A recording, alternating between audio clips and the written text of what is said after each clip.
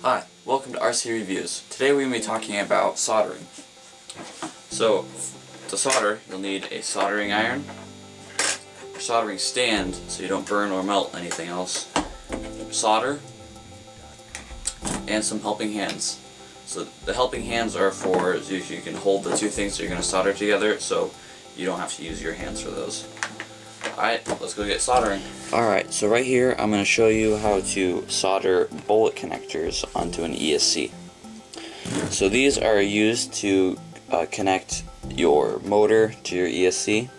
So these are the, this is the male bullet connector that's from the motor and this is the female bullet connector that I'm, I'm going to solder onto the ESC.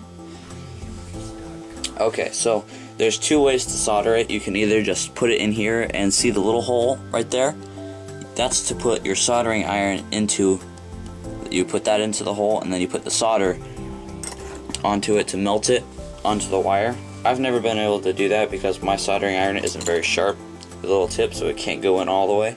So what I do is I put the little wire through the little hole and then solder it right there. You can't put heat shrink tubing onto it because it comes out a little, but I don't ever use that. I just use it tape so it doesn't hit the other ones. So what you do is you get a little solder, put it onto your soldering iron, melt just a little bit. The less solder you use, the better the connection will be. And then you just lightly tap it on there, move it around so it gets all over so there's there's no cold solder joint.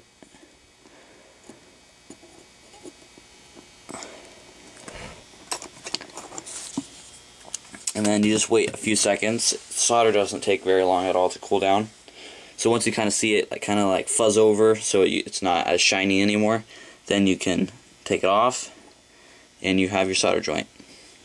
It'll still be hot for a while, but just yank it a little, it should be strong. And then you just connect it with your motor and you're done.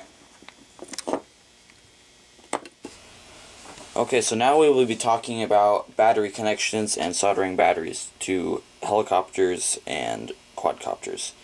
So these two right here, uh, this is a 3.7 volt 150 milliamp battery, and this is a 3.7 volt 380 milliamp battery. So they're both 3.7 volt, but this one has a higher milliampage than this one. The milliampage is how much the battery can hold, how much power the battery can hold.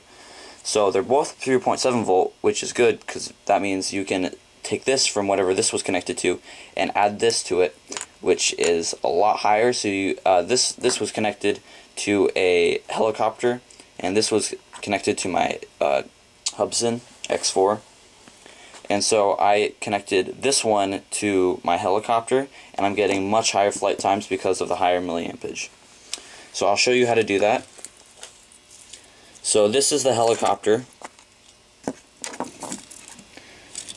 And this is the battery with the cut battery connections. So to cut the battery connections, you never want to cut them both at the same time because you can either shock yourself or blow up the battery. So you always want to do one at a time and keep them the two connections as far away from each other as possible. So I like to start with the ground and then go to the red. So after you're done with that, then you want to twist up the wires so they're nice and nice and uh, nice and small. They're good for soldering to the connections. And so the where I'm going to solder this right there with a little plus sign, that's exactly where I'm going to solder it. Okay. So you get your soldering iron, and when you solder battery connections, you still don't, I mean, you never want to use a lot of solder, but with battery connections, try to use as little as possible. The, the more solder you use, the less battery power uh, you will get out of the battery. Okay, so once you have just the tiniest bit of solder on there, you touch the positive to the positive power connector and just tap the solder onto it.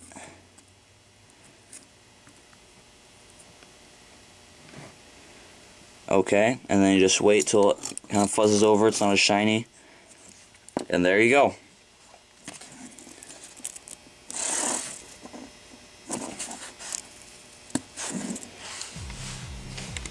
Okay, so here's a cool little trick I found out about RC stuff.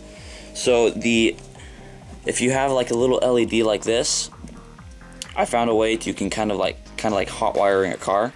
So if your power switch isn't working on your helicopter or something, just do this. So the ground on the battery for a helicopter is always connected. All the connections for a ground is connected to everything. So all you need is power on one of the power outlets on any of the helicopter and the entire thing will turn on. So I'm going to use the positive on this little LED light that's on the helicopter and touch it to the power on the battery. And since all the ground is connected to everything, it will turn on the helicopter. So let's watch right here. See it? There you go. The entire helicopter is turned on. I can just turn on the remote controller and fly it away. So that's it on how to solder. I found this great book on called The Big Book of Hacks by Popular Science. It has lots of cool projects in it. It shows you how much they would cost, what materials you need, how much time, and also has great tips on how to solder. So if you have any questions or comments, please do that below. I'll try to answer them as soon as possible or until the next episode comes out. My Instagram is gideoj. Please follow. It is a private account, but I will try to accept you as soon as possible.